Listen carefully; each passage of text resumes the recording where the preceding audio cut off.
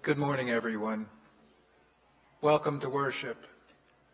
To start our time of worship, let's focus our attention on the words on the screen and uh, meditate on them.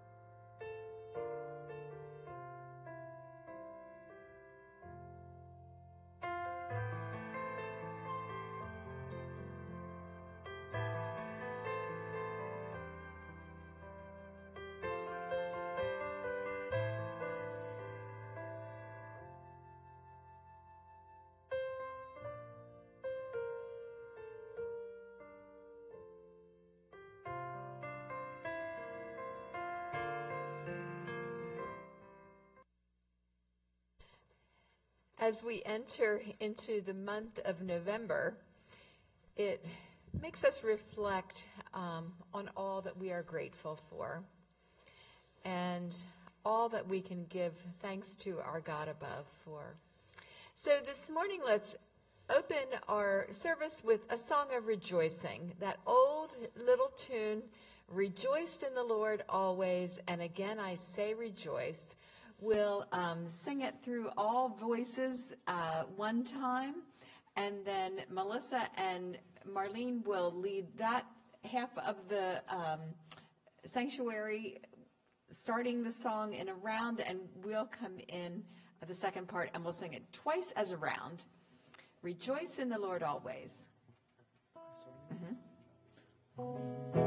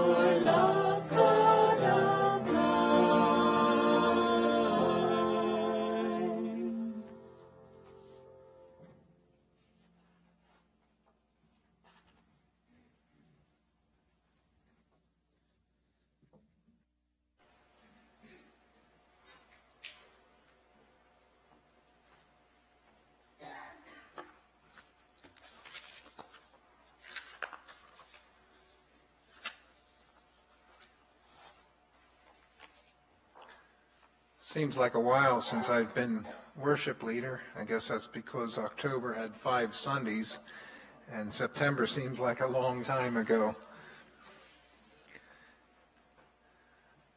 Pastor Walt's message is based on John chapter 10, verses 1 through 10. The subtitle for that is I Am the Good Shepherd. I'd like to read and look at a psalm of David where David is asking God for deliverance from his enemies in Psalm 59. Consider these verses as if you were a sheep. Deliver me from mine enemies, O my God. Defend me from them that rise up against me. Deliver me from the workers of iniquity, and save me from bloody men. For lo, they lie in wait for my soul. The mighty are gathered against me, not for my transgression, nor for my sin, O Lord. Thou, therefore, O Lord God of hosts, the God of Israel, awake to visit all the heathen. Do not be merciful to any wicked transgressors. Because of his strength, I will wait upon thee for God is my defense. The God of my mercy shall prevent me. God shall let me see my desire upon mine enemies.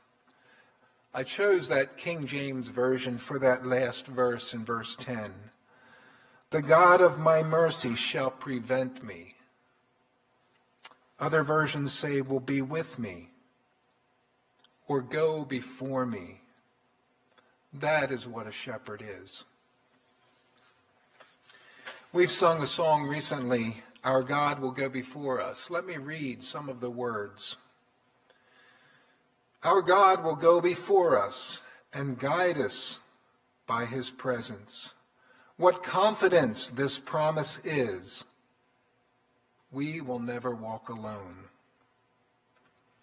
Through unknown paths, through shadows, our hearts fear not tomorrow, for every step his faithfulness is the truth that lights our way. Though evil forms against us, all heaven will defend us. The gates of hell shall not prevail, for the battle is the Lord's. Our God will go before us. The Lord of hosts is with us. Oh, praise the one who leads us on, for his grace will bring us home. Sheep need a shepherd. They trust in him. They know his voice. They follow. As I was looking for things to uh, use for my call to worship, the analogy of sheep and shepherd, there are a lot of information out there that you could use. One I chose, and I didn't really think of this perspective before. The writer was saying about him and his wife being at a restaurant in the Middle East, and after lunch, they went up to the rooftop to look around the town. They were at the edge of, edge of a town. And out one way direction they looked, there was a pasture of about five acres of green, lush grass. And about that time, there were two shepherds coming from different directions, leading their sheep. There was each probably had maybe two dozen sheep, and they both went in this pasture. And then the shepherds stood at the gate and just talked for a while. And these people that were observing this were look, you know, took some time and looked around at, uh, at the other sites that they could see. And after a while, they came back to the sheep pasture. And about that time, one of the shepherds called out something. They could hear, they didn't know what it was, but his group of sheep picked up their heads. And he said something else, and his group of sheep started to follow. The others were oblivious to what was going on. And it was interesting to know that those sheep knew their master's voice.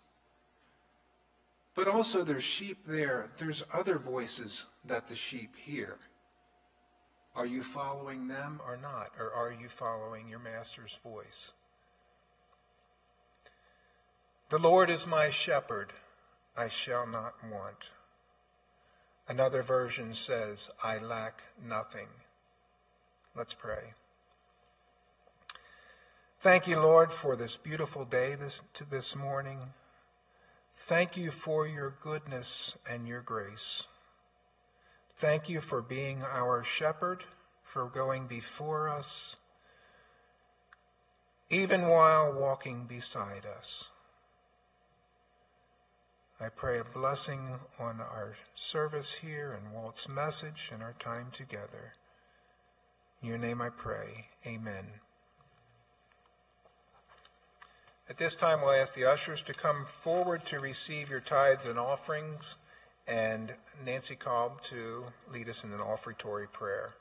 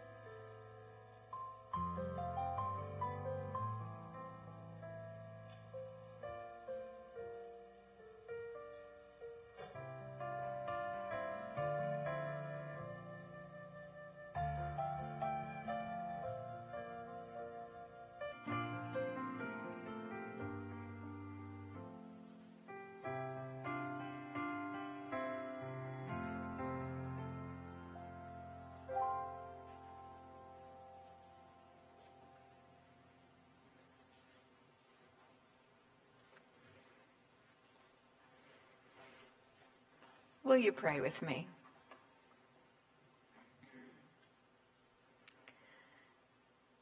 Our Heavenly Father, you have been so generous with us. Help us, Lord, to take that generosity to heart and to understand our blessings. Father, we pray that you would receive these tithes and offerings this morning and you would use them, you would bless them, use them for their for the work of your kingdom. Thank you, Lord, and continue to teach us to be your church in how we give and how we extend blessings. Thank you, O generous God, in Jesus' name. Amen.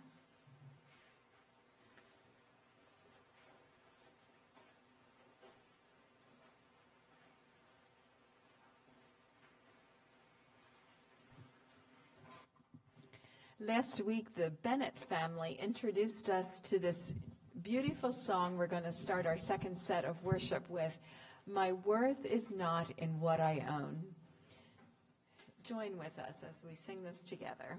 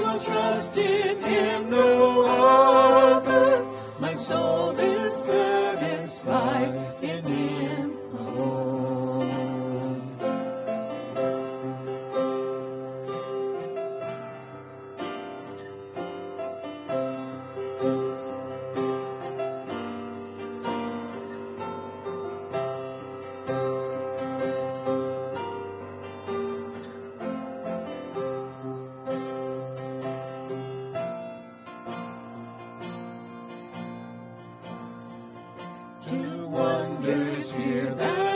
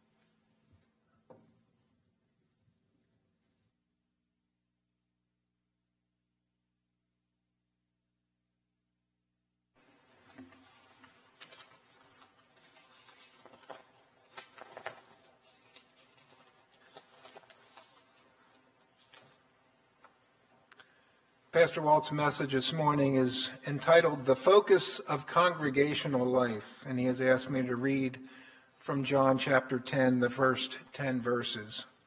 John 10, 1 to 10.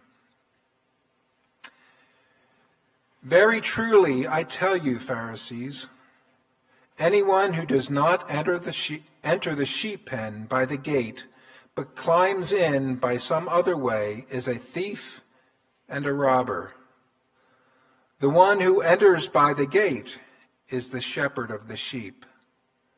The gatekeeper opens the gate for him, and the sheep listen to his voice.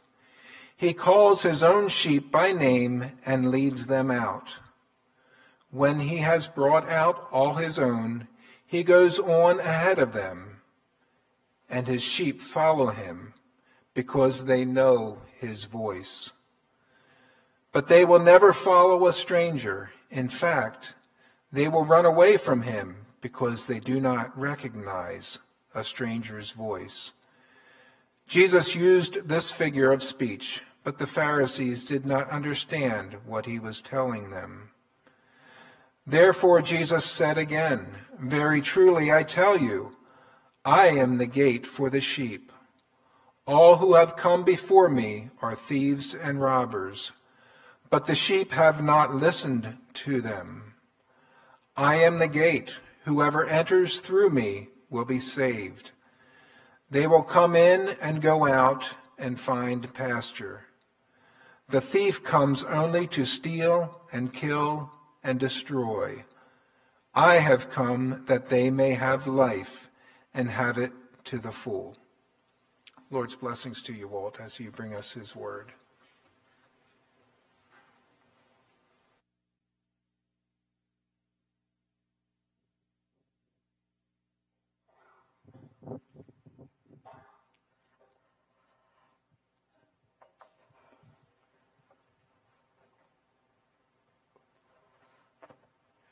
Good morning. I would concur with what uh, Roland had shared that it's been a long time since I've seen you.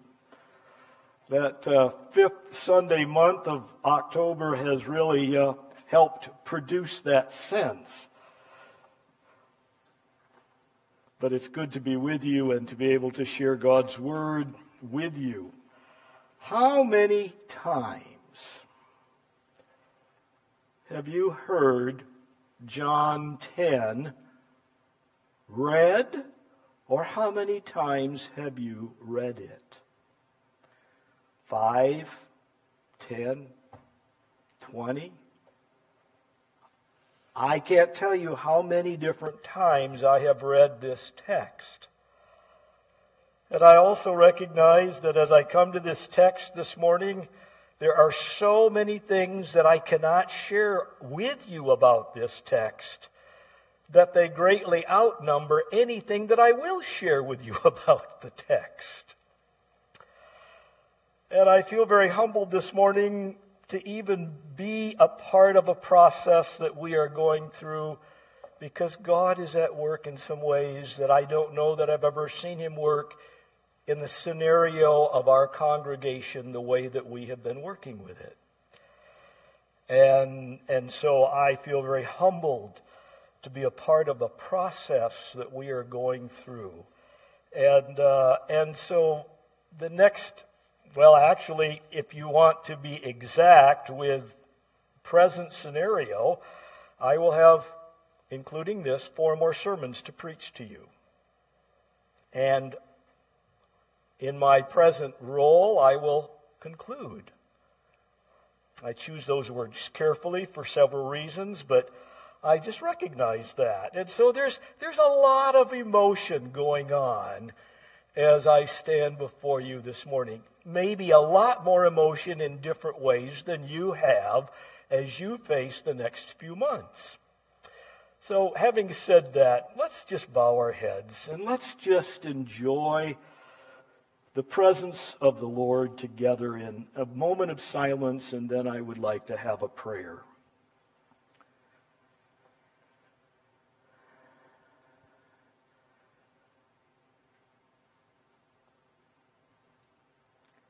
Heavenly Father, we recognize you as the Lord of all creation.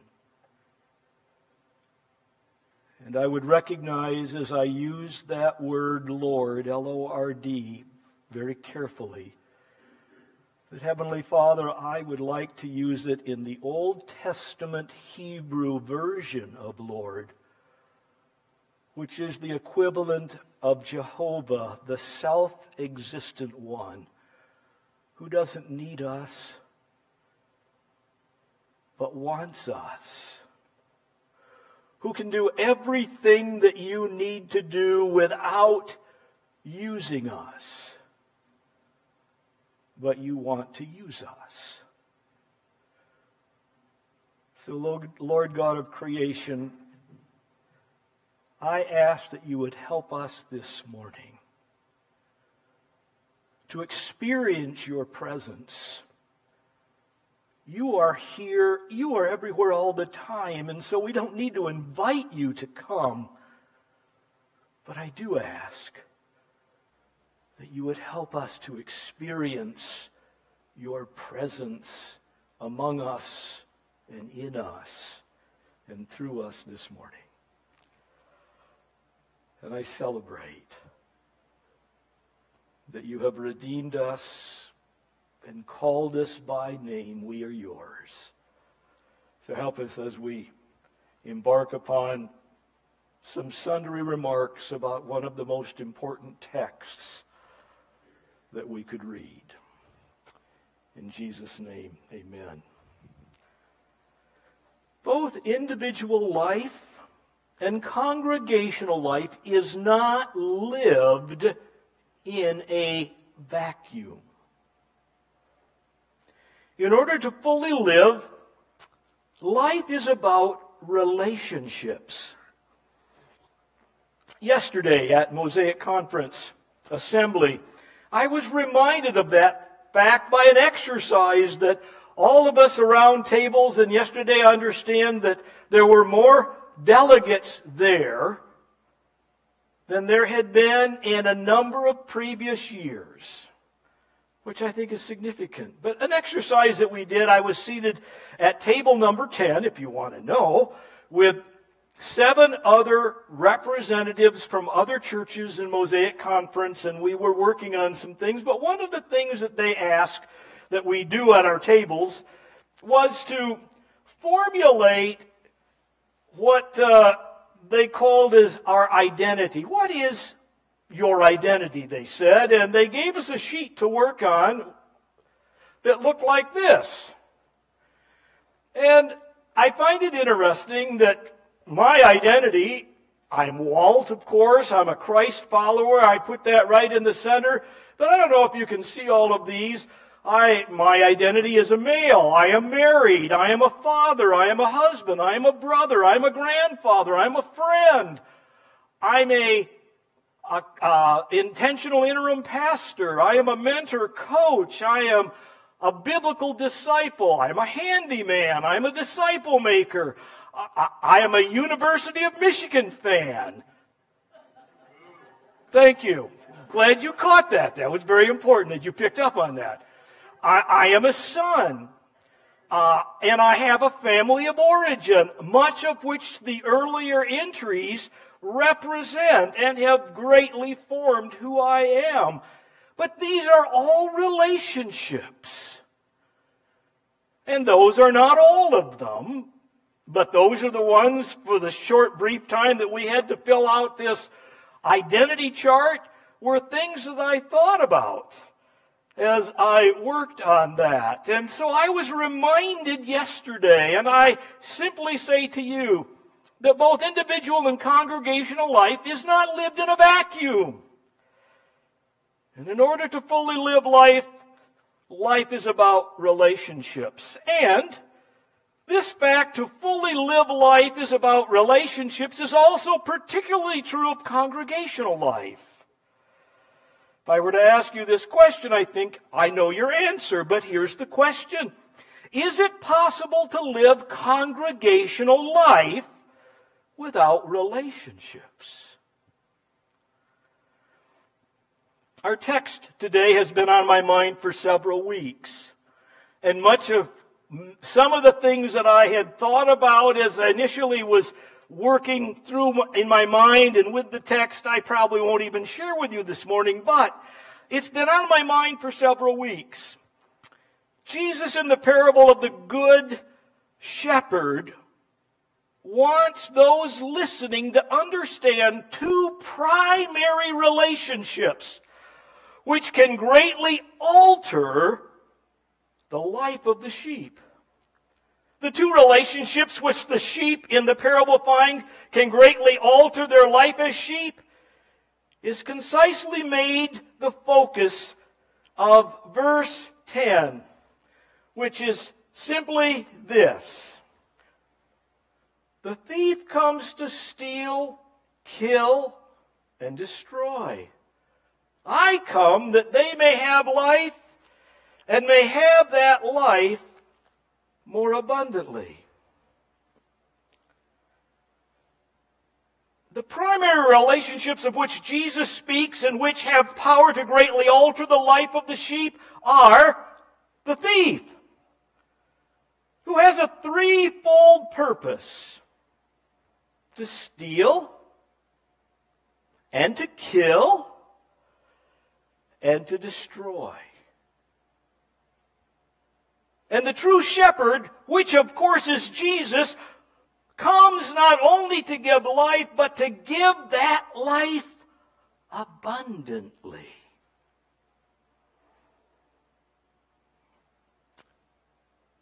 And so these primary relationships of which Jesus speaks and has power to greatly alter the life of the sheep, again, are the thief and, of course, Jesus. Two different relationships, different voices. Many times when we come to Scripture, we individualize its meaning and apply the Scripture to personal life. I've done a lot of preaching that is about one's personal life. About my personal life, about your personal life. But I wonder this morning, what if we chose a different direction in applying the scripture? By that I mean, what, uh, what if I ask, how long uh, I'm sorry, how might this text be applied to congregational life? And, and so I ask, what happens if I ask, how do we apply this text to our congregational life? We then should be alerted to the fact that the goal of the thief in his role to be a, is a role to be a disruptor of congregational life to seek to steal congregational joy, to seek to kill congregational potential, and or to destroy congregational hope. Yet, then there is the role of the true shepherd, who in the midst of the attempts of the thief seeks not only to give life, but to give that life abundantly. Jesus in Matthew's presentation of Jesus' life would share a corollary to these two primary relationships, which, as I understand them and have shared with you, have the power to greatly alter the life of the collective group of sheep. At the end of Matthew 7, in summing up the teaching of the Beatitudes, Jesus would say in Matthew 7, 24 to 27, these words. Therefore, anyone who hears my words, do you, does that correlate with what John 10 says? Those who hear my voice? Anyone who hears my words and acts upon them may be compared to a wise man who builds his house upon a rock. And the rains descended, and the floods came, and the winds blew and burst against the house. And yet it did not fall, for it had been founded upon the rock.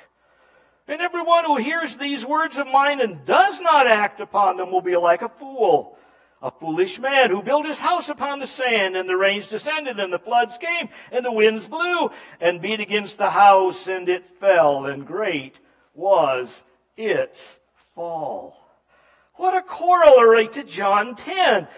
Jesus talks about the thief and to steal, to kill, and destroy. In Matthew 7, Jesus talks about someone who doesn't listen to my words. It's kind of like they've listened to the thief. And they build on sand, but those who listen to my words and act upon them, they are the ones whose house will remain steady. Building upon the permanency of rock, simply put, is listening to the voice of the shepherd. And for congregational life, it is listening to the voice of the shepherd through congregational process and living out his words in congregational life. And as we do so, we continue to experience not only life which Jesus gives, but we shall find its life in abundance. You're probably at this point saying, where is he going with this?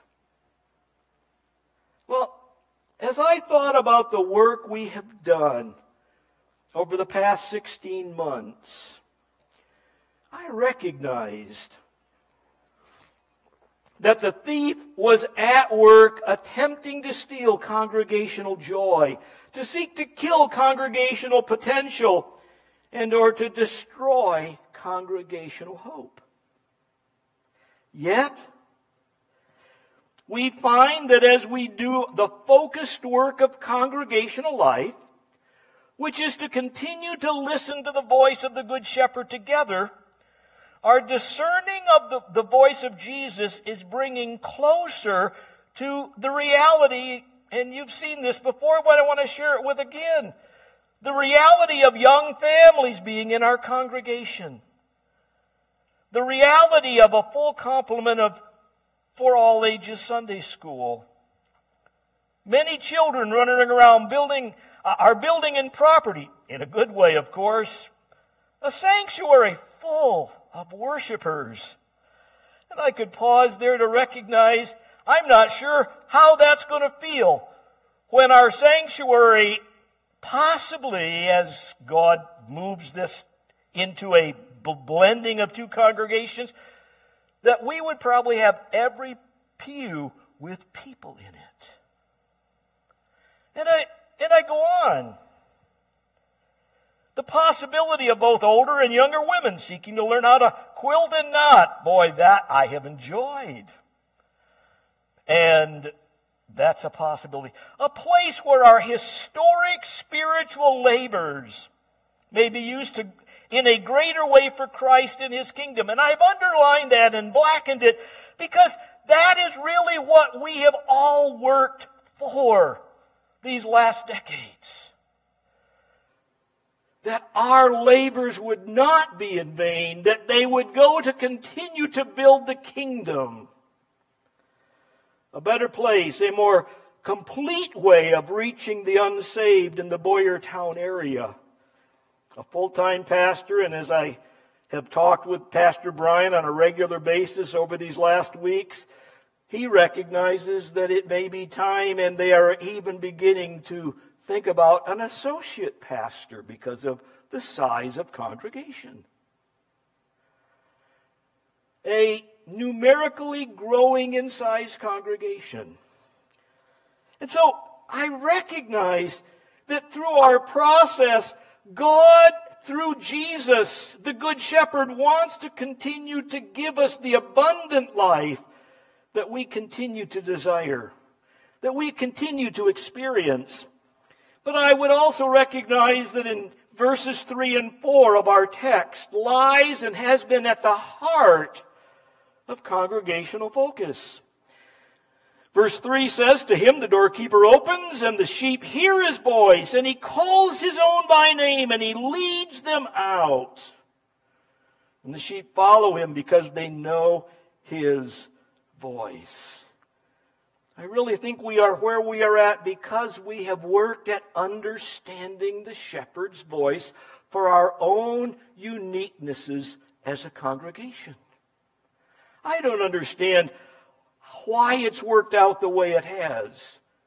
Some other congregations have not experienced this kind of thing, and I, I can't speak into that. I only recognize that right now, here for us, God is leading us in a direction of wanting to multiply the abundant life that we continue to enjoy, but we want to be enhanced by our past and present labors. And so, as we continue to move towards our discernment goal of merging with another congregation in the building uh, uh, God, our Heavenly Father, has blessed us to use for His glory, I encourage us to prayerfully continue in several practices. First, and these were, I just, in, in the development of the sermon, and because of time change, I decided to finish it this morning, and it, and I realized some of the things I wanted to share with you at this point, I couldn't get into a quick slide, so I'm just sharing it with you. And you'll probably, if you'd like, have a copy later. But I encourage us to prayerfully continue in several practices. First, that we continue to fulfill our congregational focus of listening to and following the voice of the Good Shepherd, our Lord Jesus, towards the abundant life he seeks to give us. That we thoughtfully practice. Number two, that in truly, in order to truly live, life is about relationships and in which over the next several months, healthy relationship building is done with the congregants of 242 Community Church. This will be key because we cannot do the work of building the kingdom without building relationships with those whom we will be worshiping with and they with us. And ultimately, they and us will be us all together as a single unit. That we continue to carefully practice a key principle of biblical stewardship. And that is that we have been entrusted by God to be uh, what has been trust, entrusted to us by God be used to gener, gen, generously. You try to say that with a something in your mouth that holds your one tooth in place that you've lost. Let me try again. That uh, that we care, continue to carefully practice a key biblical principle steward, uh, biblical stewardship that we have been entrusted by God to be used gener- generously to bless the growth of the kingdom of God, which after relationship building includes how we view the property, the building, and the finances which we have accumulated over the years. And that we view the abundant life Christ desires to continue to give us as the opposite of things the thief in our text desires. That instead of stealing congregational joy, Christ desires to give abundant joy. That instead of seeking to kill congregational potential, Christ desires to abundantly increase congregational potential. And that instead of seeking to destroy congregational hope, Christ desires to abundantly increase the hope of pa- the passing of eternal life onto the future generations of believers that will come into the ministry that we continue to provide for the future.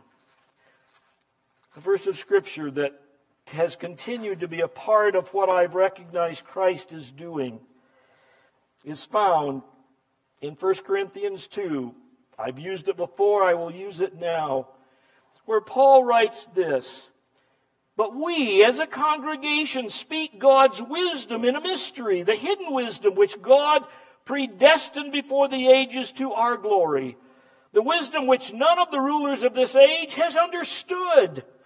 For if they had understood it, they would not have crucified the Lord of glory. But it just as is written, things which eye has not seen, and which have not entered the heart of man, or ear has heard, that which God has prepared for those who love him. For to us God has revealed them through his Spirit, for the Spirit searches all things, even the depth of God. So I, I reflect and I share as we listen to the voice of the Good Shepherd. He is moving us towards things that may be somewhat different than we had envisioned several years ago. But they are the capstone of what the shepherd wants for us, I believe, as his sheep. So we will share some things in a little bit about where we are at in this process and what's coming, but we will not ever do anything without congregational listening and responding. But we want to continue to recognize that God is up to something.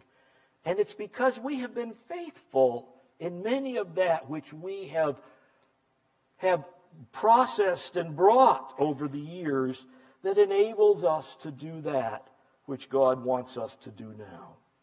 So I simply ask, would you bow your heads with me as we thank the Lord that He's our good shepherd, that He is continuing to work in us as a congregation. Lord, I thank you for that which you are doing. It's an exciting time in a way that's different from that which we would have envisioned several years ago, even. But at the same time, Lord, it's filling some of the longing of our heart for that which we have hoped for. I think of that poem that simply says, What we have prayed for will not come in just the guise I thought, but I continue to leave my prayer to Him alone, whose will is wiser than my own. And so, Lord, you are working through our gifts and through our abilities and through our discernment to bring the kingdom of God into our lives and into our community in a much fuller way. And we thank you that as we continue to discern this path that we are on, that we will continue to know that which you desire to give us. And we'll be sure to give you the praise in Jesus' name. Amen.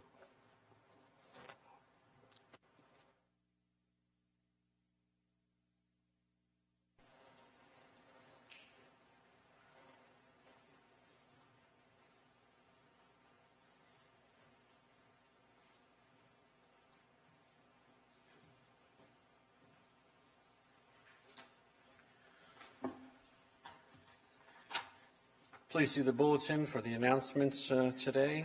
Uh, but in addition to that, I would like to share some information on our transition plan and uh, activities for this week coming up. Uh, and I ask for your prayer for our leadership team and our council as we continue to work with uh, 242 church leadership this week. Uh, tomorrow, Monday, the leadership team and myself We'll be meeting with Pastor Brian here at church.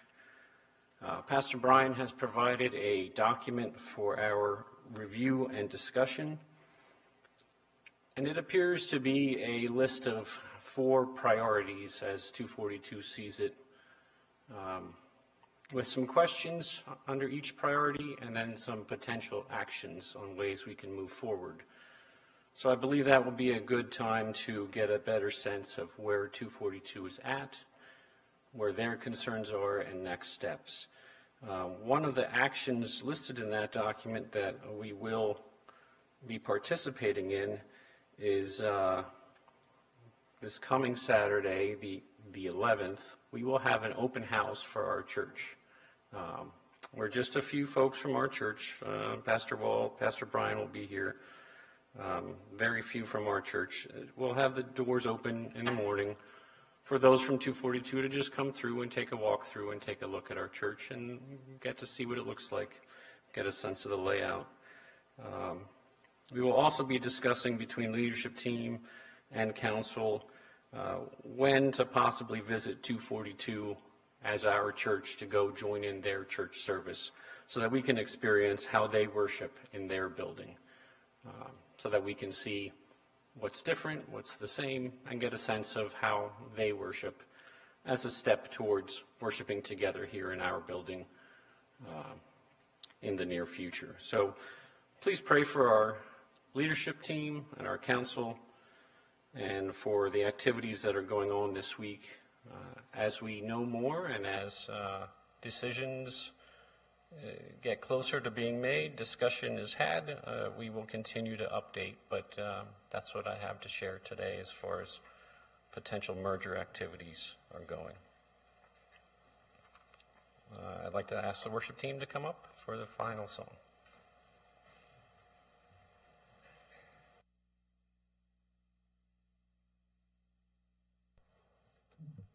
We invite you to stand and turn in the Blue Worship Book to hymn number 504 Have Thine Own Way, Lord, have Thine Own Way.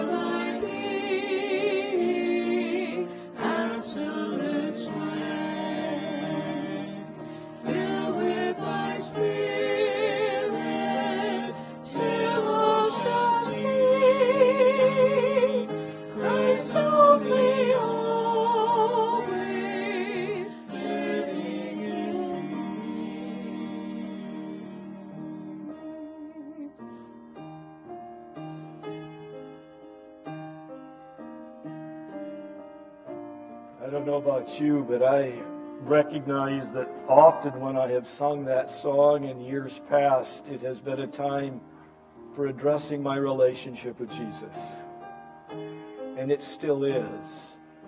But I invite you, as Nancy continues to pray or to play on the piano, that you ponder with the Lord Lord, what is it that you desire for me as we move forward as a congregation? What do I need to lay on the altar? What are some feelings that I have that I need to get in touch with to give you? But as you pause, as you think, as you pray, do you want the Lord to have His way? Do you want Him to work in your life and in our congregation in a way that fulfills a further sense of His will?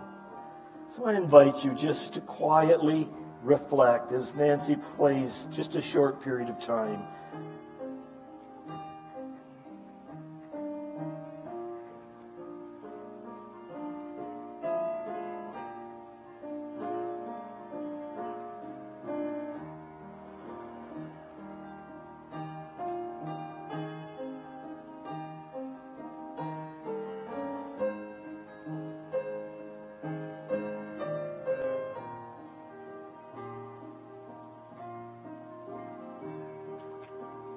Lord Jesus, I raise my palms face up to you